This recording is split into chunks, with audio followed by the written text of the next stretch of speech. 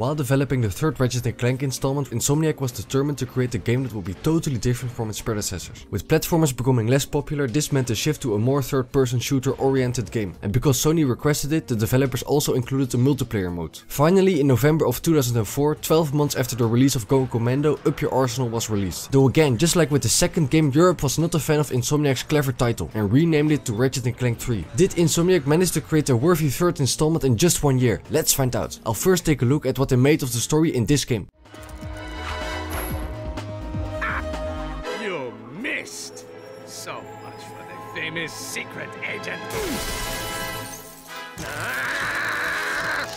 Hmm, shocking. After the events of Going Commando, Ratchet & Clank play a relaxing game of chess in their penthouse when they suddenly hear that Ratchet's home planet Velden is being attacked by Tyhrranoids. Ratchet & Clank defeat the invaders and are then informed by the Galactic President that Dr. Nefarious is likely responsible for this attack. Not knowing who this mysterious figure is, Ratchet & Clank track down Captain Quark who is the only man who has ever beaten Dr. Nefarious. It turns out Quark is living with an indigenous tribe on the planet Florana and he has completely gone insane. After taking Captain Quark to the Starship Phoenix, they use some vidcomics to return Quark to his old self again. Feeling as confident as ever, Quark forms a Q-Force and he assigns Ratchet & Clank with the most difficult task while doing nothing himself. After infiltrating Nefarious's base and killing the Tyhrranoid Queen, they eventually run into Courtney Gears, who turns Clank over to Dr. Nefarious, and this evil robot turns out to be a huge fan of Superstar Secret Agent Clank. Nefarious asks Clank to join him, but of course Clank refuses. Faced with disappointment, Nefarious creates Clunk, who is an evil double of Clank that joins Ratchet on his next adventure. Unaware of the switcheroo, Ratchet and Clunk go to stop Courtney Gears after she turns Skid into a robot. Just after beating Courtney Gears, Quark seemingly perishes after Dr. Nefarious initiates a self-destruct sequence. After a brief memorial for Quark on the Phoenix, Ratchet goes to Metropolis to stop a Tyhrranoid invasion, where Dr. Nefarious unveils his Biobliterator which turns all Tyhrranoids and citizens into robots. But this doesn't stop Ratchet, who catches up with him in no time. To be able to escape, Nefarious orders Clunk to kill Ratchet, at which point Ratchet finally realizes that this isn't the real Clank. Ratchet defeats Clunk and reunites with Clank. The two of them discover that Quark faked his death as he is too scared to fight Nefarious. Realizing they are better off without Quark, the duo destroys the Biobliterator with an ion cannon. Not to be outdone, Nefarious is working on a second, more advanced Biobliterator on the planet Mylon. Ready to end it once and for all, Ratchet and Clank head to this planet and manage to defeat Nefarious, but not before he can activate the Biobliterator, which transforms into a deadly robot. All seems lost, but then out of nowhere, Quark saves the duo after having regained his confidence. This allows the two to strike the killing blow and destroy the Biobliterator. Nefarious teleports out of there as usual, but unfortunately for him, he forgets to specify a destination, which leaves him and his butler Lawrence stranded on a distant asteroid. Now that Nefarious is defeated, Ratchet, Clank, the Q-Force and their allies enjoy a private screening of the latest Secret Agent Clank holofilm.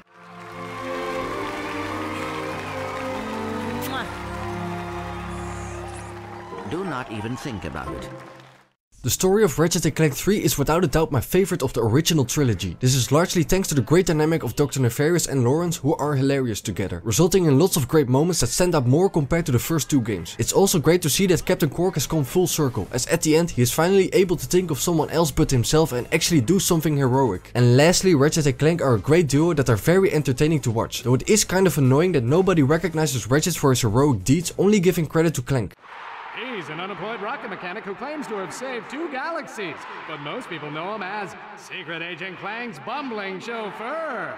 When you start playing Up Your Arsenal, it's clear that this game focuses less on platforming and more on combat. And to make the shooting easier, the first thing you should do is choose the lock strafe controls, which feels more like the traditional third-person shooter controls. If you want to earn more bolts, you can do Galactic Ranger missions in which you need to defend or capture a base. There are also Annihilation Nation tournaments in which you either need to fight off waves of incoming enemies in a gladiator arena or do some platforming while evading dangerous traps. Another option is to go to Aquatos, collect sewer crystals in a sewer filled with amoeboids and hand them over to the plumber to get some bolts. Finally, there are Quark Vid comics that retell Quark's history and his various clashes with Dr. Nefarious. This plays as a 2D side-scrolling platformer in which you play as Quark and by completing a comic you earn bolts and titanium bolts based on how many tokens you collected and your completion time. Since titanium bolts can only be used to buy cosmetics, I never really used them, but overall there are lots of ways to earn more bolts, so you no longer need to use glitches or annoyingly farm enemies for bolts like in the first game. Just like with the previous two games you can enter challenge mode after beating the game, and now that you can purchase mega versions of weapons, this gives you some incentive to continue playing. And just like in Going Commando, after beating the game I immediately went to challenge mode and continued playing for another couple of hours. Which just shows the developers nailed this aspect with very addictive gunplay. Up Your Arsenal offers a total of 21 weapons of which 2 return from the first game. And 5 of these make a return from Going Commando, such as the Plasma Coil and the fan favorite Bouncer. These can be purchased from Slim Cognito for free if you have a Going Commando save file. You start out with your Omni Wrench and if you break Inferno Crate you can wield 2 Flaming Omni Wrenches to kill enemies in one hit. But since this means you will miss out on valuable experience for your firearms I hardly ever use the Omni Wrench. Aside from your melee weapon you started with a shotgun called the Shock Blaster and grenade launching Nitro Launcher. And throughout the game you can buy weapons from vendors. Aside from the returning weapons, Up Your Arsenal also includes new weapons, such as the Annihilator which is your standard rocket launcher, the Disc Blade gun that fires deadly rotating discs, the Flux rifle which is a long range sniper rifle, the Holo Shield glove that allows you to deploy a defensive shield. This is without a doubt my least favorite weapon as I never found it all that useful and it is easily outclassed by the much better shield charger. Another underwhelming weapon is the Infector which brainwashes enemies to attack each other, but since I like to deal damage directly this ended up as one of my least used weapons. A new weapon that I use much more frequently is the N60 Storm that functions as your basic blaster weapon. If you like to fight enemies up close and personal you can pick the Plasma Whip. The Quacko Ray functions the same as the Morpho Ray and Sheepinator and as the name implies it turns enemies into ducks. The Rift Inducer fires black holes which suck up nearby enemies. The Spitting Hydra can lock onto enemies and electrocute them. And last but not least there's the third iteration of the Rhino. All weapons in this game can be upgraded up to level 5 which is 2 more levels than in Going Commando. And if you go into challenge mode these weapons can even be upgraded to level 8. This means that you are constantly leveling up your weapons making the gunplay even more satisfying than Ratchet and Clank 2. And since almost all weapons are useful this motivates you to select another weapon as soon as you've leveled up the weapon that you were using. Which means you will have a powerful arsenal of weapons at the end of the game. Aside from weapons Ratchet automatically comes equipped with the Helipack, Hydro Pack and Thruster Pack. And the Gravity and Charge Boots can be obtained. New to Ratchet's arsenal is the Tyhrra-Guise that turns Ratchet into a Tyhrranoid which allows him to talk to these creatures in order to get past guarded entrances. Another addition is the Hypershot that combines the functions of the Dynamo and Swing Shot from Going Commando, allowing you to create platforms and swing across long distances. Ratchet also gets a hacker gadget to open locked doors. While it is a step up from the hacking mini games of Going Commando, it is still not that enjoyable. And I'm just glad when I've collected all the green snippets so I can enjoy the rest of the game. Aside from just walking around as usual, you also get access to two vehicles, which are the Turbo Slider and Hover Ship. The Turbo Slider is a four-wheeled vehicle that has a back gun that is operated by Scrunch. The Hover Ship on the other hand allows you to fly and take out enemies from the sky. To break up the gun shooting sections, you also get to play as Clank again. Clank can again command gadget bots to attack enemies and unlock sealed doors. But this time he also gets a so-called banana guided autonomous monkey device to fire bananas to lure Scrunch to activate switches or distract enemies. And while on the movie set of Secret Agent Clank, Clank transforms into Giant Clank. And you get to shoot on helicopters, beat up giant ninjas and take down the terror of Telos. Compared to Ratchet 1 and 2, Up Your Arsenal is much more linear with fewer deviating paths. Thus in the level design it also becomes apparent that the focus is much more on gunplay rather than platforming. Even though I really like the platforming sections in those games, I have to admit that I don't really miss it in this third installment. I estimate our odds at approximately 1 in 63 million,